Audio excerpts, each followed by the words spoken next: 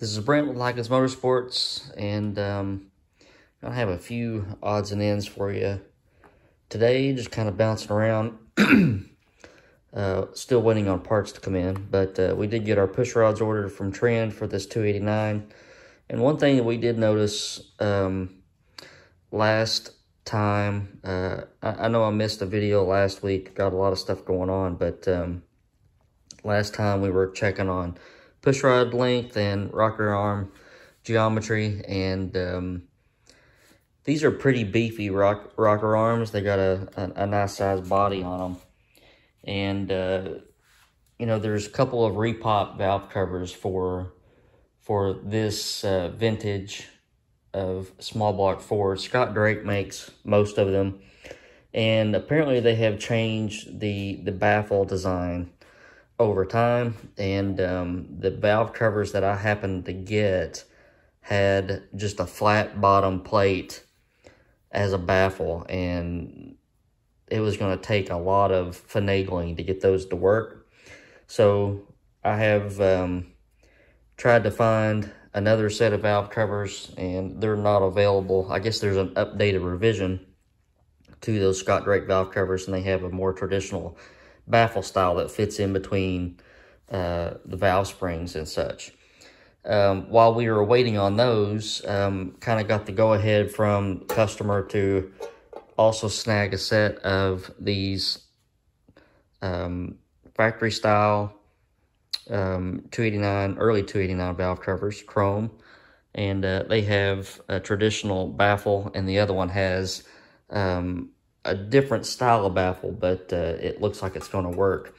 So I'm just mocking these up, and um, I think they're going to do just fine. I do have a little bit of thicker valve cover gasket. Uh, these are 5 16 thick.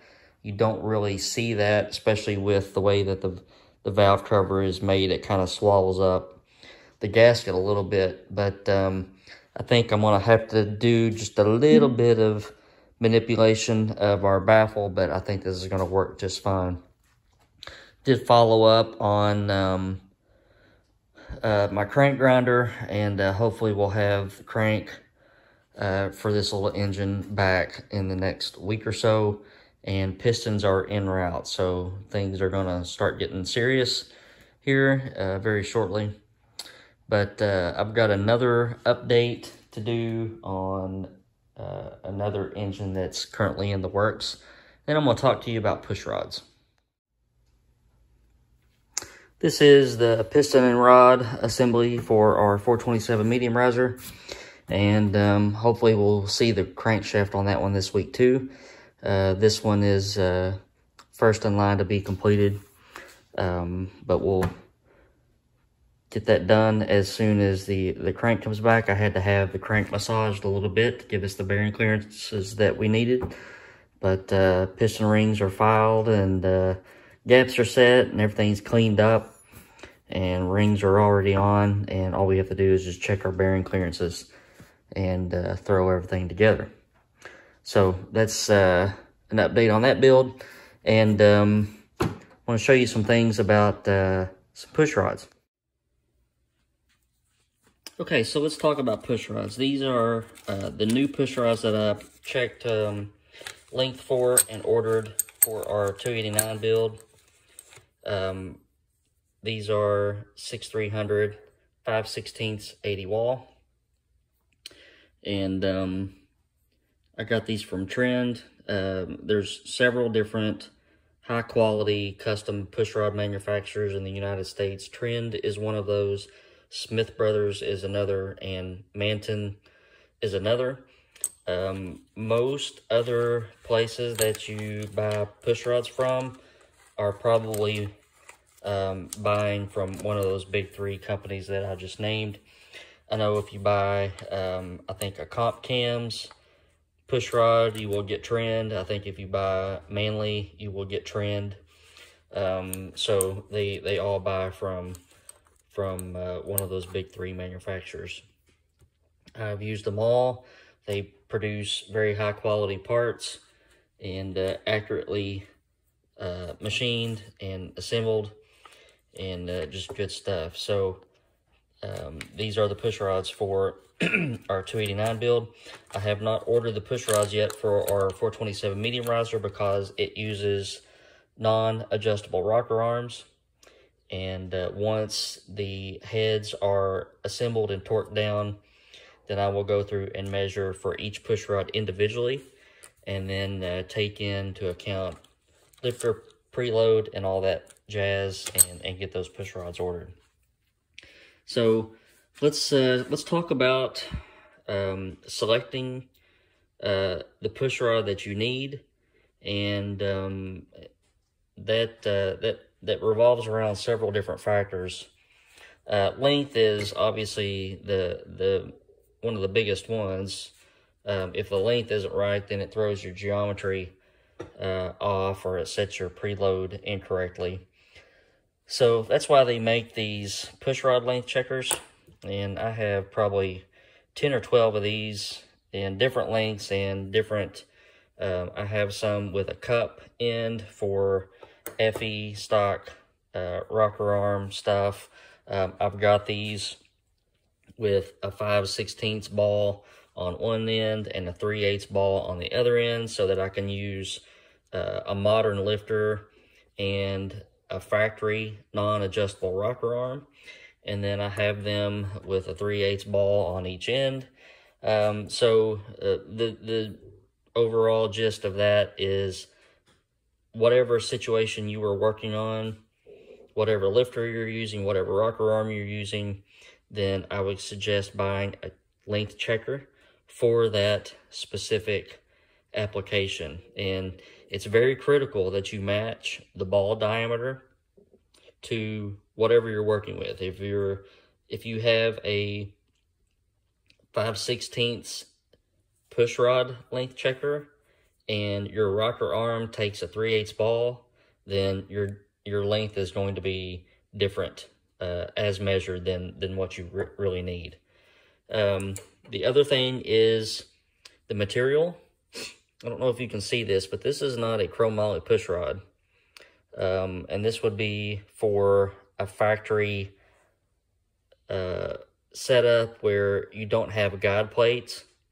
Okay, your guide plates are usually steel and you want a good hardened push rod so that when it rubs on the guide plate, it doesn't wear through. Um, so your, your cheaper push rods will probably be uh, just a uh, a cheaper material, and you really have to watch out for that.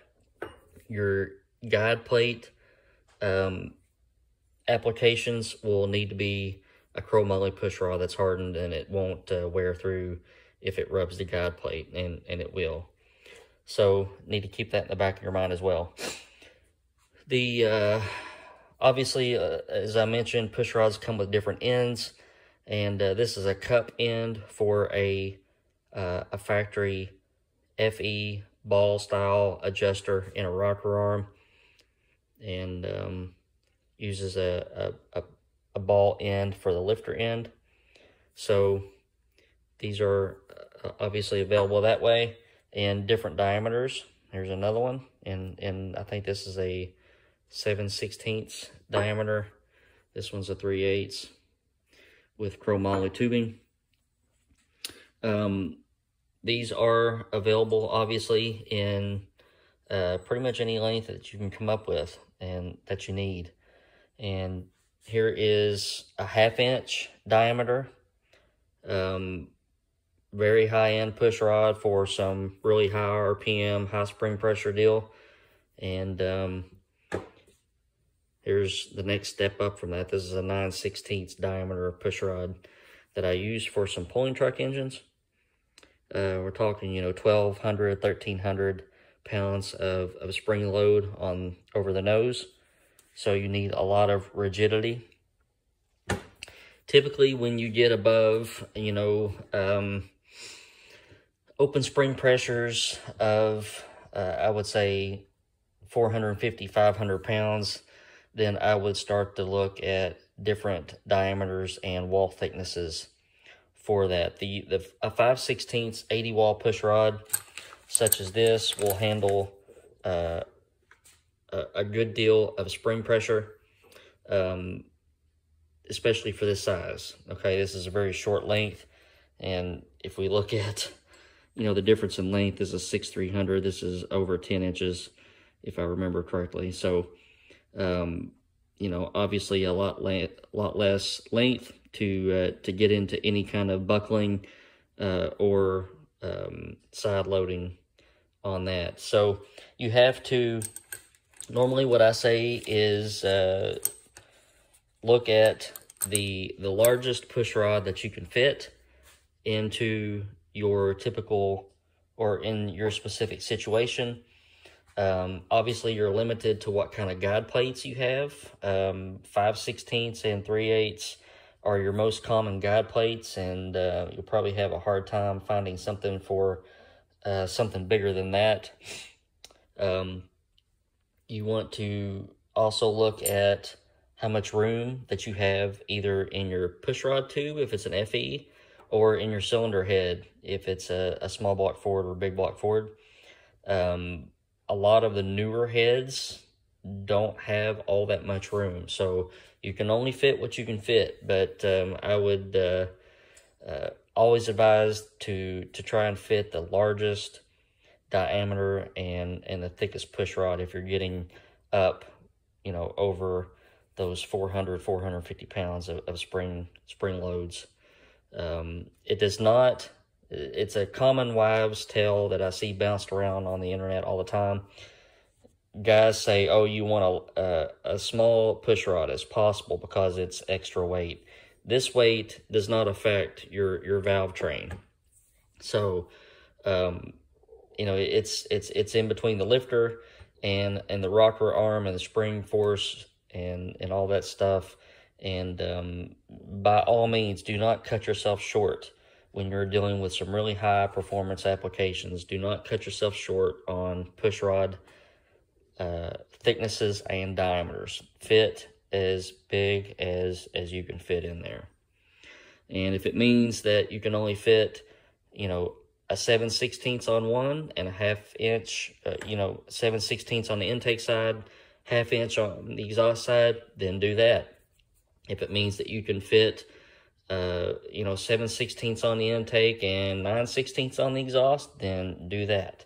So the higher the RPM, the more spring pressure, um, all that stuff, you want the most rigidity that you can get.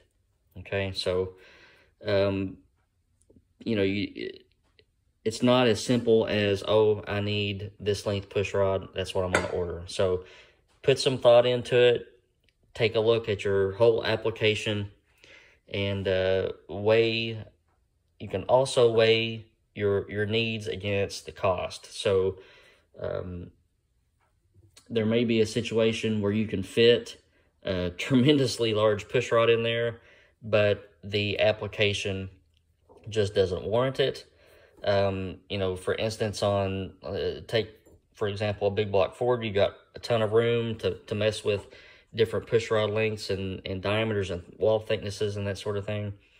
You know, if it's a flat tappet cam with 250 pounds of spring pressure and it's a 4,000 RPM truck engine, don't spend $600 on a set of 9 16s push rods. Okay, I guess that's what I'm getting at. So take into account all of it and, and weigh the cost against what your needs are and what your your whole setup is.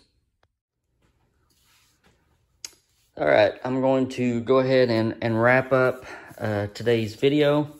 And uh, like I said, I apologize for not putting one out last week. Uh, we had some family in, and I had to do uh, a good bit of traveling. Um, last week, um, my grandfather was not doing very well, so I wanted to go and, and see him um, potentially for, for the last time and he just passed away this past Tuesday. So I would appreciate everyone's thoughts um, on that. Um, I'm going to miss my grandfather. Uh, I have a lot of memories with him. Uh, we shared a lot of the same interests, uh, horses and um, uh, hot cars. I guess he's uh, probably the originator of where I get my uh, enjoyment with with hot cars and hot engines and that sort of thing. Um, my dad always told me that when my grandfather always bought a car, he always bought the biggest engine that he could get in it. So um, that's uh, that's a man after my own heart there. So I think I probably have uh, his his blood in my lineage uh, in more than in more than one way. Um, so I can probably attribute um, my engine building, uh, love for engine building, and love for engines, love for engines from from my grandfather and from my dad. But uh, he lived a very long life. He was 93 years old. Uh, he almost made it to 94. His birthday would have been in September. Um, so he, he got to see a lot of things. He was uh, a very hard worker. Uh, started out his life uh, logging with mules, and um, he was a carpenter by trade and, and a farmer, and um, just a very hardworking man. He was a good man. Um, I just have so many good memories of him. So um, that's that. And um, funeral will be will be this weekend. So everybody keep keep my family in your in your thoughts.